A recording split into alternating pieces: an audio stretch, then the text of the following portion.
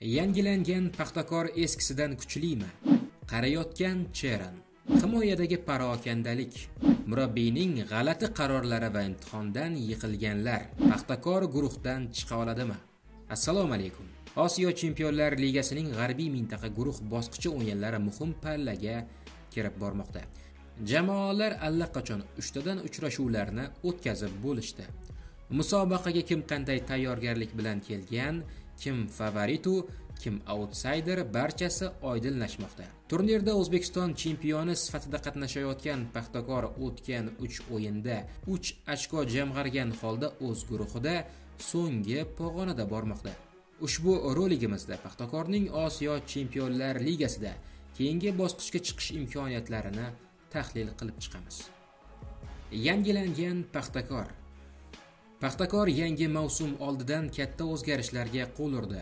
Bosh murabbiylikka shimoliy makedoniya termasi murabbiylar shtabida bugungi terma jamoamiz bosh murabbiyi srechko katanesga yordamchi bo'lib ishlagan slavchi voyneyski olib kelindi. Paxtakor voyneyski uchun ilk katta jamoa hisoblanadi. Murabbiy oldingi jamoalarida asosan yordamchi murabbiy sifatida faoliyat yuritgan. Himoya markazi to'liq yangilandi. Orqa chiziq yetakchilari hisoblangan anzur ismoilov va yegor krimetslar jamoadan ketdi. Ularning o'rnini ikki legioner ukrainalik aleksey larin va bolgariyalik kamin hajiyev egalladi. Hujum chizig'iga esa sardor rashidov va belgiyalik oliver sharkich jalb qilindi.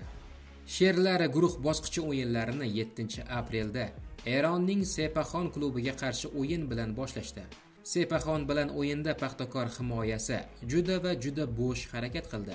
Markaziy himoyachilar larin hamda hajiyev yosh bolalarcha xatolar qilishdi.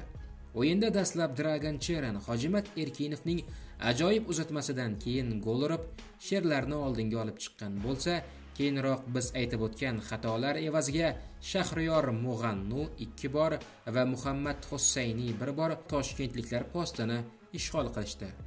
Voyneyski esa o'yinni saqlab qolish uchun zaxiradan o'yini umuman chiqmayotgan mirjahon mirahmatov sardor rashidov va diyor xolmatovlarni maydonga tushirdi. Aliboyev turg'unboyev va hamrobekovlar almashtirildi.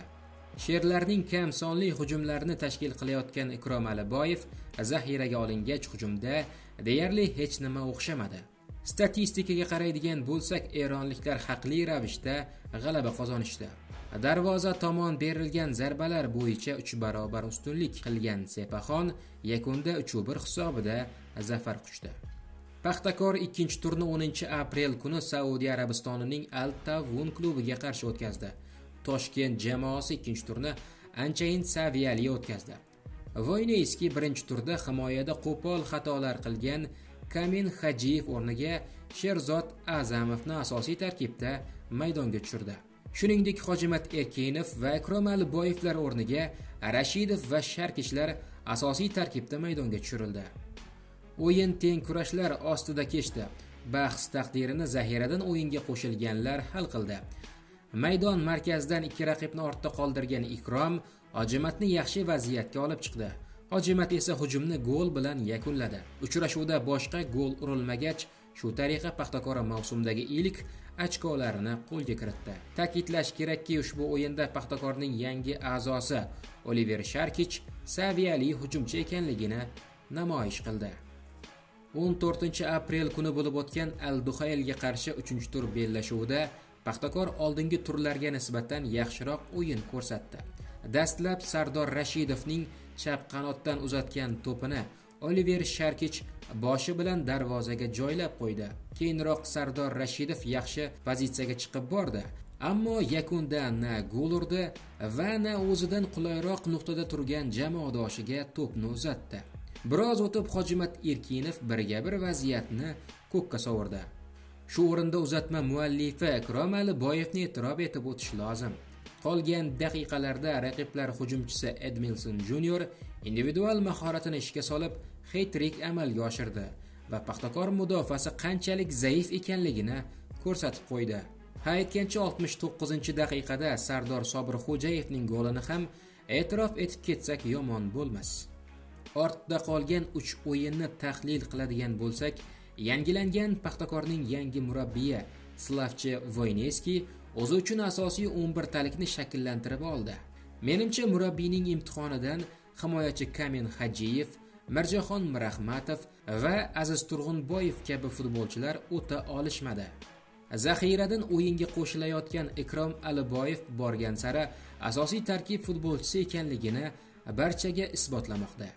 Belgiyalik hujumchi oliver sharkich o'tgan o'yinlarda o'zini yaxshi tomonlama ko'rsatdi va paxtakor sarflagan pullarga loyiq ekanligini isbotlashni boshladi. So'nggi yillarda paxtakor yetakchisiga aylangan dragan cheranning o'yinida pasayish kuzatilmoqda balki bu futbolchi hozirda 34 yoshda ekanligi bilan bog'liqdir. Umuman olganda paxtakorda musobaqa keyingi bosqichiga chiqish uchun imkoniyat yetarlicha guruhda yaqqol yetakchining yo'qligi kuchlar deyarli tengligini hisobga olsak sherlar hatto birinchi o'ringa chiqib olishlari ham mumkin.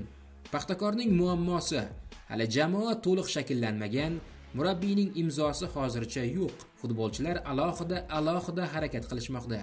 Murabbiy o'zi uchun asosiy tarkibni to'g'ri tanlay olsa va jamoaviy o'yin qurish uddalansa keyingi o'yinlarda paxtakor raqiblariga oson bo'lmasligi aniq. Sizchi azizlar sizning fikringiz qanday? Paxtakor guruhdan chiqa oladimi?